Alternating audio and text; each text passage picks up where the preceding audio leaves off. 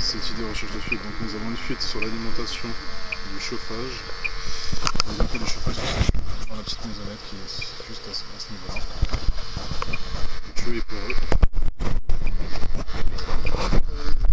Euh, non? Oui, malheureusement le tuyau il est. Euh, il est